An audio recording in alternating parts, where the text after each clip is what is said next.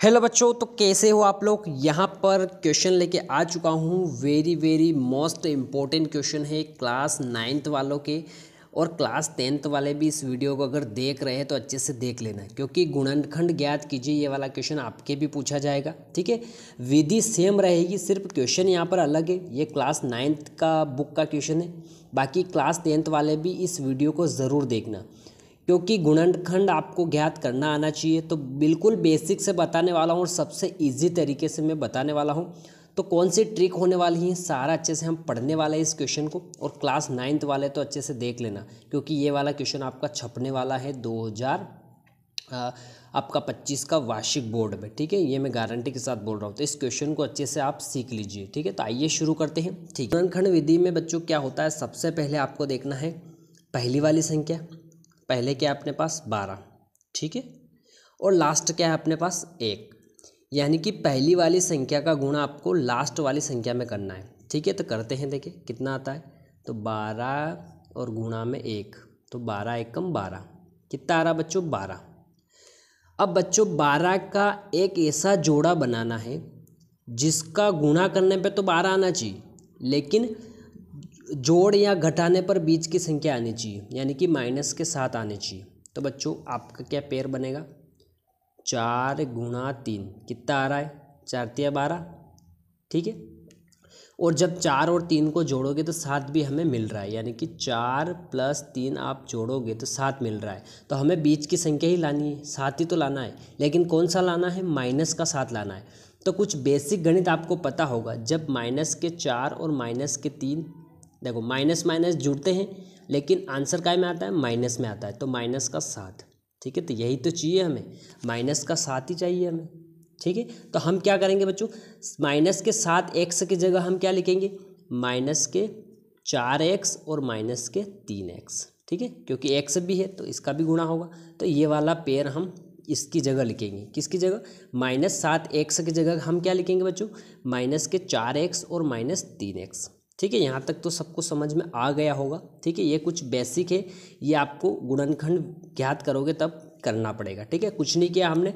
सबसे पहले आपको क्या करना है, पहली संख्या का लास्ट में गुणा करना है। ठीक है, जितना भी आता है, उसका हमें क्या करना है, एक जोड़ा ऐसे ढूंढना है, जिनको गुणा करने पर तो हमें वही संख्या आनी चाहिए। और जोड़ने व घटाने पर बीच की संख्या आनी चाहिए, ठीक है? ये कुछ बेसिक होता है गुणनखंड विधि में, ठीक है? ये आप अच्छे से सीख लीजिए, ठीक है? तो आइए इसको करते हैं, ठीक है? सबसे पहले हम लिखेंगे बच्चों यहाँ पर हल,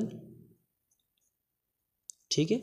अब देखो, बारह एक्स स्क्वायर, पहले ऐसा कैसा लिख दो? तो बारह एक्स स्क्वायर ऐसा कैसा, ठीक है? अब माइनस सात एक्स की जगह हम क्या लिखेंगे बच्चों? माइनस के फोर एक्स और माइनस के तीन एक्स। ठीक है? क्योंकि इन दोनों को हम जब जोड़ेंगे तो हमें क्या मिलेगा? माइनस का सात एक्स मिलेगा।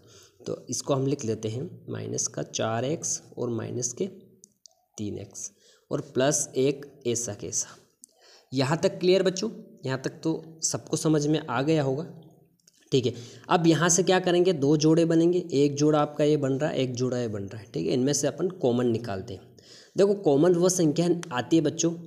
ठीक है? जिसमें या तो दोनों संख्या का भाग जाता है या दोनों संख्या के पास जो चीज़ कॉमन होती है, वो निकालते हैं, ठीक है?